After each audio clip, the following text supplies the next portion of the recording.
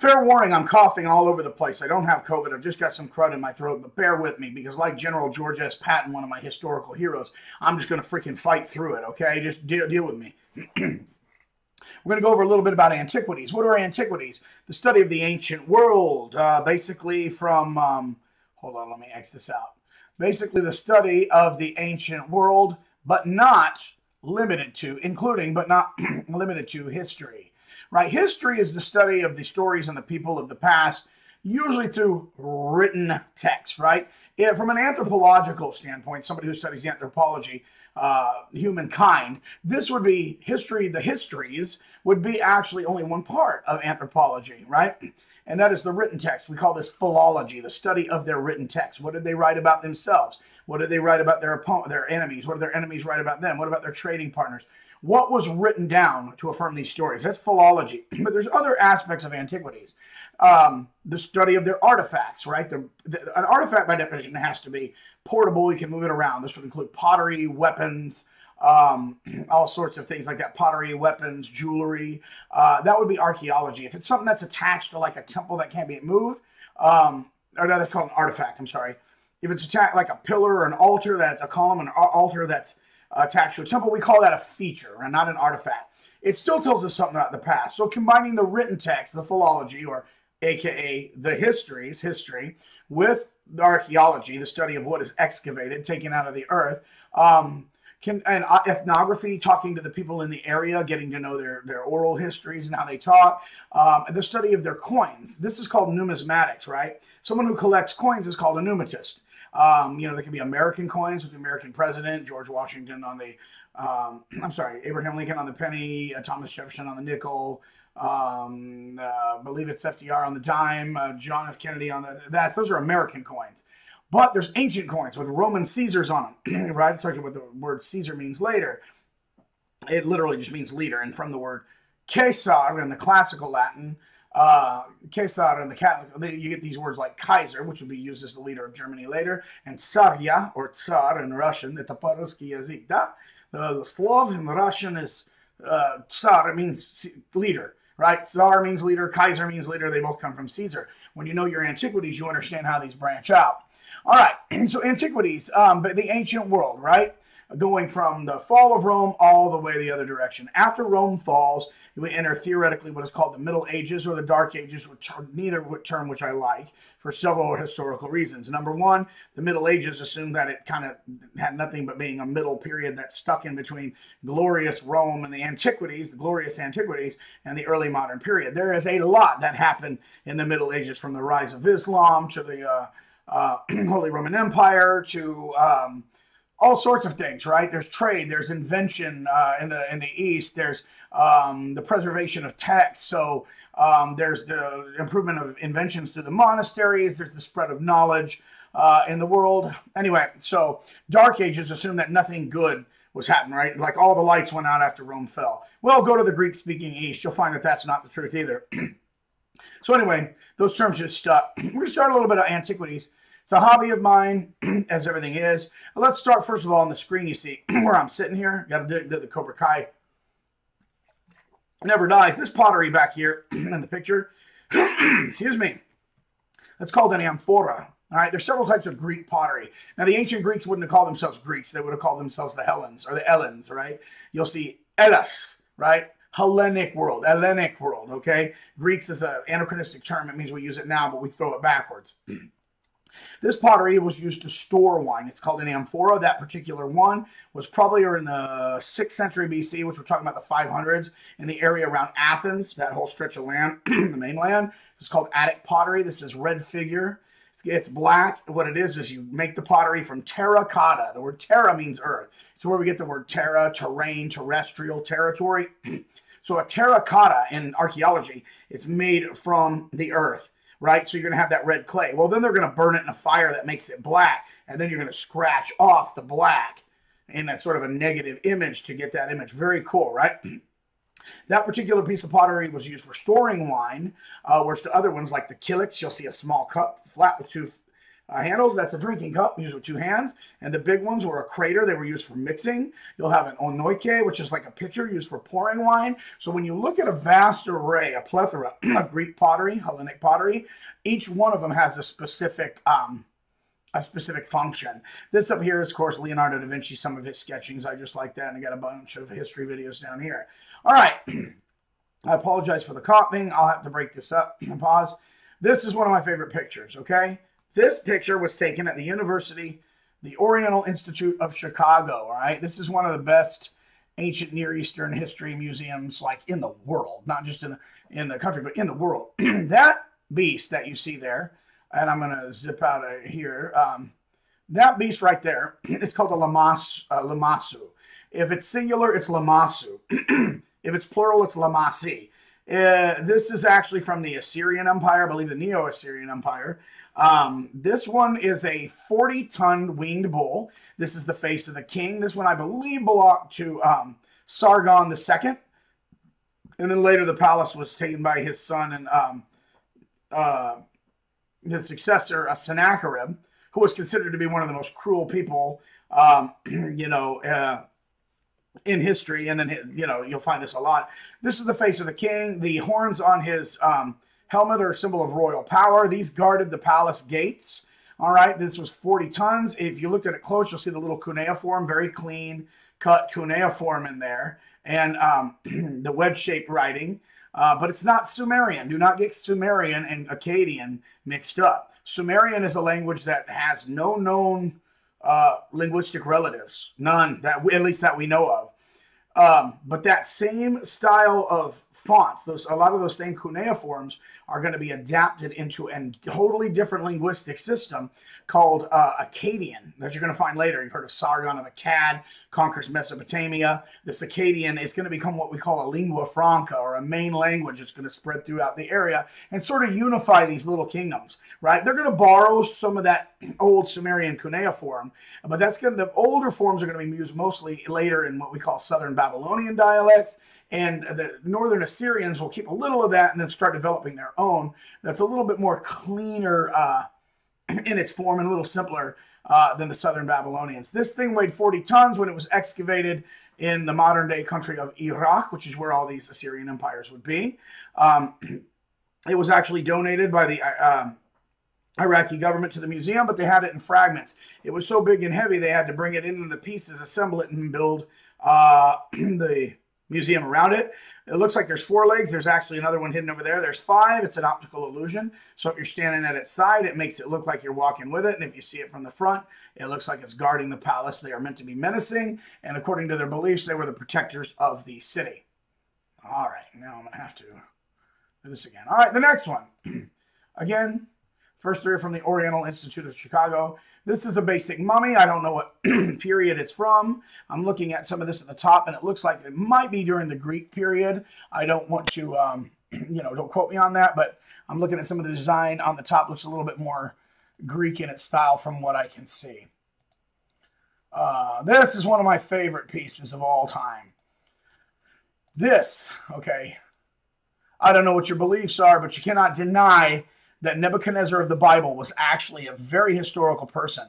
People will say, no, you're just making that up. Nothing that's true that's written in that book. Well, uh, I think the London, um, I think the uh, British Museum would beg to differ with you. We have, we have uh, um, cylinder seals, which are like, uh, they're like clay cylinders, and they're usually like in like prisms with like different like um, five pointed like I'd have to show you in a picture. There's called prisms. They're like a roll of um, well, mud that's um, that's folded into a, a, sort of a cylinder uh, with some edges on it, and then they inscribe cuneiform, which means cunea means wedge shaped, right? Cuneiform, the form of wedges.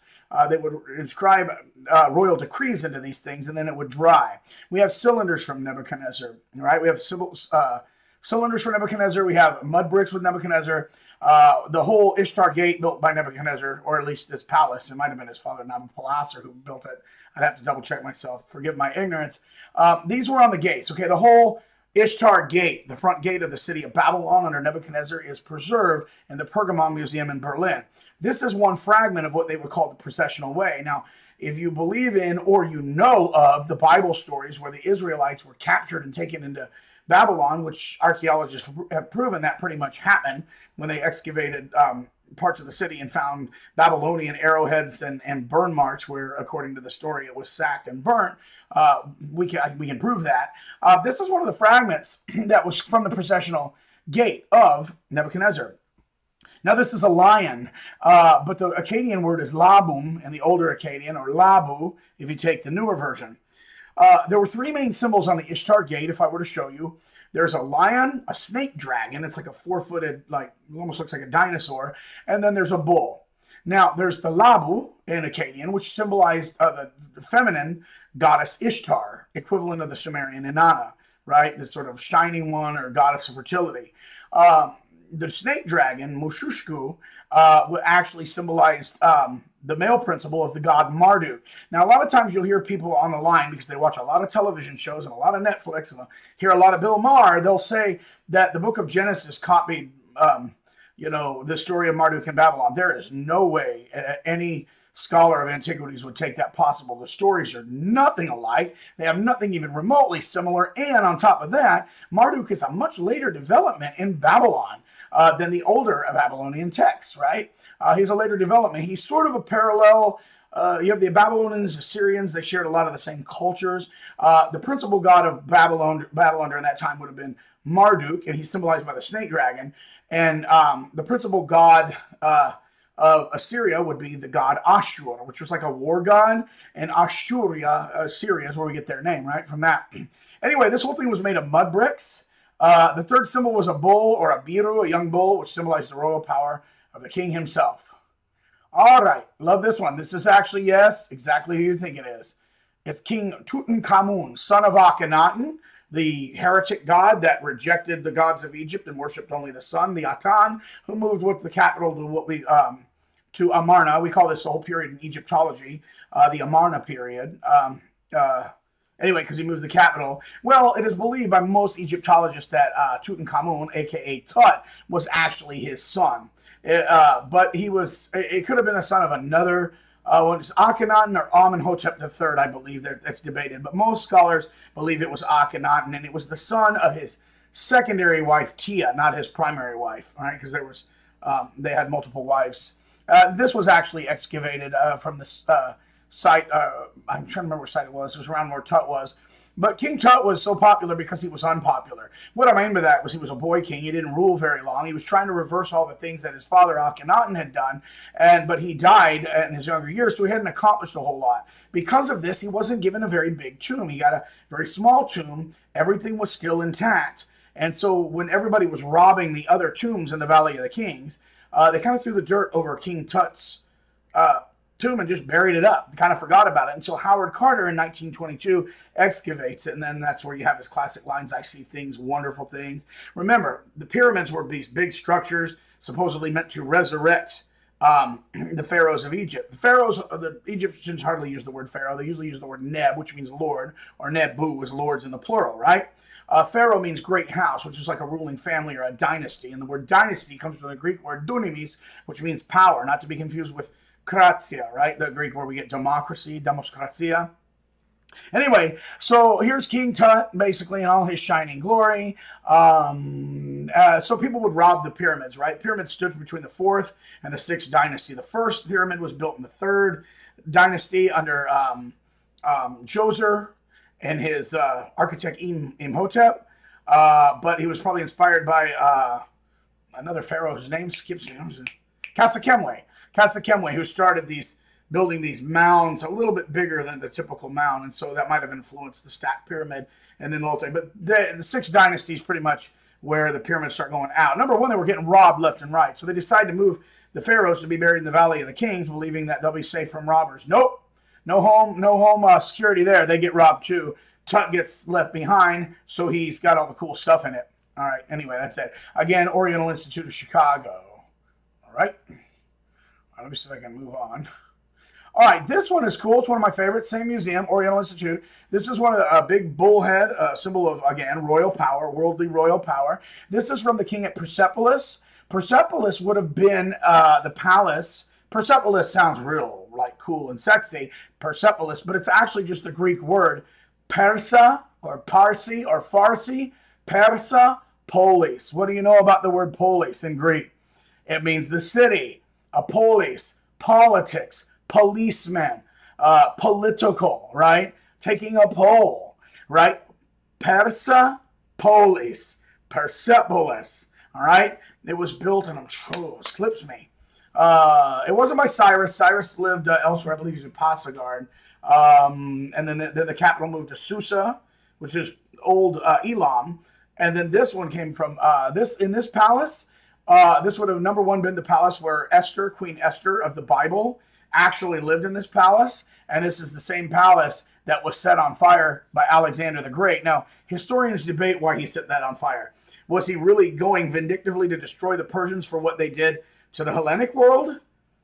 Because Alexander was known for not destroying too many things. I mean, when he went into Tyre, he wrecked that place because they resisted him. But most places he kind of left alone and said, okay, I'm Alexander the Great. You know how it always goes with these people. I rule over this and would leave them alone. So why did he set this on fire? Was it revenge? But some other stories say that one night he was hanging out with a bunch of ladies and they got drunk. They all got drunk and he went crazy and set it on fire. So I don't know. We don't know. I don't know if we'll ever know, but there's some debate on that within scholarly circles. All right, this is from the Mayan period, I believe classical Mayan period. This is at the different museum. This is the Museum of uh, Pennsylvania, Pennsylvania, UPenn, University of Pennsylvania in, um, let me X this out, University of Pennsylvania in Philadelphia, Pennsylvania. One of my favorite museums. They remodeled it since I've been there years ago. I'd like to see the Assyriology and Sumeri- Sumerology um, section. This is classical Mayan. There's different periods of the Americas, archaeology of the Americans. Americas, by the way, you can actually, if you look close, not in the picture, but if you're there, you can actually see some of the Mayan hieroglyph. And I did study a few books on actually how to uh, read hieroglyphs. I'm not an expert in hieroglyphs, but they work on a, a what we call not an alphabet, but a syllabary, uh, which are a, a chunk of consonant vowel groups represented by symbols and can have a meaning in and of themselves, but when put together, have a, a phonetic meaning. Very, very similar to uh, Akkadian. But since I had studied Akkadian, I had studied uh, Middle Assyrian uh, and later Assyrian, which was a little bit harder. Since I studied those, I already knew how to read a syllabary. I, I understood the concept. So when I was reading the Mayan and figuring out how how to actually go through each symbol and read the um, uh, syllabary, it wasn't that foreign to my mind because it was the same principle as ancient Assyrian. Okay, this is classic. This is classic. Hold on, where am I? Where's my Bitcam? Oh, oh, here we go. This is uh this is a golden head, or probably a gilded, right? You know, the head may not be solid gold. It probably isn't. It probably is wood, and then with gilded around it with gold, which is the way a lot of these um, uh, things work. Uh, this is the head of an instrument, a musical instrument, a stringed instrument. Um, not a zither, not really a harp. That again, that's a term that we wouldn't really want to use. You could say a lyre, if you will, but a lyre is a Greek term. Um, so for all intents and purposes, we'll just call it a lyre, stringed instrument. You play it similar to a harp, and it has the winged bull representing the king. Now, there's some debate on this too, because people say, well, that's a that's a bull. That is clearly a bull. Other people say because of the beard, it's actually a, a bison. That they actually had bison in that area at that time, which are extinct. Now, that's not that unbelievable because lions used to be in the um, ancient Near East. You'd hear read about them all the time in the Bible. Oh, I don't believe the Bible. Okay, fine. Well, then look at the Assyrian um, Assyrian reliefs and Babylonian reliefs on the walls, right? Uh, you'll always see king Assyrian kings hunted lion, hunting lions. In fact, that's why there's no more lions. They said the Assyrians hunted them to death because killing the, the lion was a symbol of royal power in their own eyes. Uh, some people believe that might be a, a, buffalo. The other might be like on the Ishtar gate we talked about, that the bull was still seen as a royal symbol of the king, and the beard represents that long beard that the king had. So, again, this is one that is uh, sort of debated. All right, like this one too. Let me, uh, this is the Roman gladius, right?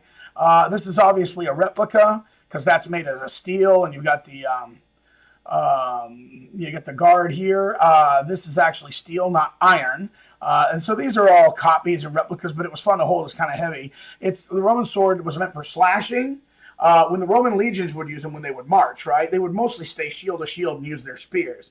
You didn't want to get separated from your rank and file and have to use a sword. But if you did and you were in close quarters combat, that's when you bring out the gladius for the slashing. And yes, ladies and gentlemen, that is where the word gladiator comes from. I would like to add a couple things about the movie Gladiator. Yes, I'm a fan. No, nothing about that is remotely accurate. Number one, the movie makes it look like, oops Marcus Aurelius did not want his son to be emperor, and the son really, really did. It was actually the opposite. Marcus Aurelius wanted his son to be emperor, and the son wanted nothing to do with it. He was insane, though, and he ultimately did become emperor, and he fought in the uh, Roman Colosseum, probably controlled several times, and he walked around in a lion's. Um, uh, headrobe claiming to be Heracles, Hercules, and ultimately I believe he was assassinated. Was it by poison? I know that Caligula was actually murdered by his own Praetorian guard. Anyway, that's neither here nor there. This little sword back here was actually a prop in the actual movie Ben Hur in the 1960s, I believe, with Charlton Heston. So that's kind of cool. Okay, back to that one. All right, here's another Sphinx. Well, Sphinx. Again, University of Pennsylvania. I know they redid this room. I haven't been there uh, for a while. Uh, this is the third largest sphinx in the Western Hemisphere. The face is actually uh, flat and taken off by, it's been sandblasted by the winds of the Sahara Desert. How cool is that, right? You'll see the cartouches here, which are the Egyptian hieroglyph uh, written into, in, uh, these are symbols of Egyptian royalty. When I was in that museum, I had taken an online course in Egyptology through Coursera called Introduction to Egyptology. Learned a lot from the course, and it was taught by one of the top Egyptologists in the world by the name of David Silverman here out of the University of Pennsylvania. Uh, one of his proteges was actually working security. He was working for the university and just just now graduated, and he was teaching me actually how to read some of that hieroglyph. Over here, you see the uh, Horus, the god Horus, with the double crown, right? The northern lower kingdom. Up here, these these uh, columns are lotus flowers. Some are open, some are closed. So he was teaching me about some of this. I know this is, was a showroom for them for a long time. By the way, Benjamin Franklin founded this university, and uh, Thomas Jefferson founded the University of Virginia, which has one of the top law schools. Um, okay, this is really cool. I don't. Is that me? Oh, maybe that is me. Yeah, I'm trying to think. It looks like me. This is actually the Parthenon in Nashville, not the one in Greek. This one was a, a replica that was made for, like, I believe, a World Fair, and it was so impressive they uh they just decided to keep it. They literally just decided to keep it. Oh, hold on. And inside, I'll show you in a minute. Okay, you have on the outside, you have the frieze up here. You have, um, yeah, I believe this is Athena uh, Zeus, she's being crowned by Nike, the goddess of victory, as the patron city. In the myth, she has a contest uh, against Poseidon. He offers a fountain, she offers an olive tree, and then they build a temple around the olive tree with goddess figures called the Erechtheion. You have the Parthenon, which means place of the virgin, literally in uh, um, Greek. It was, uh, well, it was commissioned by Pericles, the Athenian statesman, but in a dubious way, where you know he claimed to be championing democracy, but the Greeks, the Hellenes, had come across some silver mines, right, on part of their country. I believe it was on main, the mainland, and uh, there was some debate in the city, political debate on whether that silver should be spent on raising uh, soldiers' salaries or building this temple. Most people, I believe, sided with the salaries, but Pericles kind of um, used the money to build this temple to Athena anyway. Oops politician, politician, politician. Ultimately, he was ostracized for the city, uh, you know, because they had a vote. Uh, he was probably not for that reason. He was becoming maybe too powerful, um, too too threatening to the people. So I believe he was exiled for ten years and actually went to Persia, who they'd spent all those years fighting. In fact, Pericles was actually a hero at the Battle of Salamis, where it was just sea battles against the um, um, the Persians. Anyway, interesting. These are Doric columns. You see those round. You see the curly Q ones? Those are Ionic. The round ones are Doric. Here up here you have the triglyphs and the metope, which are these little figures here. Uh, anything, those little beasts on the corner, those are called acroterion. If you think about it, Terion or Therion is the Greek word for beast, and acro means high. So acroterion means beast on high. So when you see those little gargoyles and well, they're actually different types of things. They're griffiths, griffins griffins on the corner of the um, structure. That's what they are. And yeah, that is me by the columns. Also, interestingly enough, if you notice on these, they bulge out. You see, if you notice, they're bulge outing. That's an optical illusion because when the Greeks built the original Parthenon, which is destroyed mostly not because of the old age. The reason it's all crumbled and, the actual one in Athens is because uh, when the Greeks were declaring independence from the Ottoman Turks, uh, there was a battle and some, I believe, gunfire hit uh, some gunfire hit, you know, some gunpowder that was stored up in the Parthenon and it blew it up. All right, so a lot of people don't know that. They think it just fell across because of time. That's not true. Um, there's more to the picture. Oh, anyway, I'm sorry. I was going to say on this one, uh, what you have, these bulge out because it's an optical illusion. If you went way up on the hill to look at it, eh, they would look like they were sinking in the middle. So they bulged out the middle to give the optical illusion that when you were standing there looking at it, it actually looked straight. All right, again, I'll show you this one. Oh, there's that Greek pottery I was talking about just real quick. The amphora, which stores wine. The pelike, which I don't remember quite what that does. I think that also is like wine storage. Uh, the bell crater, which is a, a, mix. The kylix, which is a drinking bowl. Uh, and then the, like there's a little Anoike, a pitcher over here. Different things. This is in the San Antonio Museum of Art. All right, this is what I'm talking about when I get to ancient Assyria. Um, this is King Sennacherib mentioned in the Bible. Very, very cruel. Notice he has a beard. Notice all the guys behind him have no beards, uh, and they're following. Those are eunuchs. I'm not going to explain what a eunuch is or why there's eunuchs um, in case there's kids watching, but all right, what the heck? You know, we got to grow up sometime. Eunuchs, these are palace helpers. They assist the king. They're eunuchs. They're castrated. They have certain parts removed so that they can never have babies. Now, why would you do that? Well, it makes sense. If the king was all about power, he couldn't have guys running around in the palace that might impregnate either his wife or someone else and have a child that would rise up and seize power for the king. So he has them castrated so they can't have offspring, which eliminates the threat to his power because that's what power hungry people do. But usually they were very, very, uh, you know, they had a lot of the luxuries in life, and they were the king helper. They were eunuchs, they're palace eunuchs, and they help them out. There's assistants, there's administrators, things of that nature. All right, this is uh, armor from the Middle Ages uh, in the New York uh, Metropolitan Museum of Art. When I was in there, I actually saw Henry VIII's armor. What a creep! What a narcissistic bully. Remember, he's the one that uh, wanted to divorce Catherine of Aragon. Um, she was uh, Spanish. His, uh, I believe, first wife because she couldn't have a male child, and then married Anne Boleyn, and then beheaded people for not being able to have have his offspring. He was just a spoilt, petulant uh, little brat jerk. So he created the Church of England because the Catholic Church would not grant a divorce uh, for his first wife. So he's like, forget all you, I'll just make my own religion and have them grant it. So uh, anyway, and then the Church of England became the long, long-standing Church of uh, England. Uh, same thing, same thing. And then, of course, the Church of England, which is going to be the state church, right? and all of these little religious sects that are actually deviating from that are going to be basically what gives rise to the Americas, right? You're going to have your Puritans, your Pilgrims, your Separatists, you're going to have your Quakers, you're going to have all sorts of weird and like in between groups that and during certain uh, time periods. Um, mostly, I believe it was uh, after the English Civil War, right? Um, you're going to have these, and then these groups kind of start fading when Charles II is put back on the throne. Anyway, uh, there you go. All right, this is Greek armor, Hellenic armor. This is a Corinthian helmet, you know, the kind of the Spartans. These leg pieces are called greaves. Again, there's your amphora, amphora, and your breastplates. Looks pretty cool. I need muscles like that. There's also different types of warrior helmets. This is the Sphinx of Hatshepsut. I believe she was the only, I believe she was the only female pharaoh to ever sit on the throne. She was actually part of the dynasty household, but Thutmose III was actually too young to rule, so she basically appointed herself to the throne and ruled over Egypt. And Thutmose grew up, uh, uh, grew up, came back and said, "Uh-uh, I want, I want that throne back," and drove her away. And then all of the images of her were scratched off. Right, all of the images were scratched off because they wanted no record. They wanted to erase her from history. I believe she was the 18th dynasty. This is samurai armor. Uh, this is a, a, clan symbol of the different families. The term samurai, samurai, which is actually feudal, uh, term about warrior of the Middle Ages. There's three different classes in Japan. Basically, you have your samurai, you have your uh, serfs, and you have your daimyos who rule. Then you have your merchant class, which during the Edo period rise up and you know the merchants that made money were actually kind of looked down in Japanese society at the time. The, the warriors were were where it was happening. These were the guys that were answering to a feudal lord called a daimyo.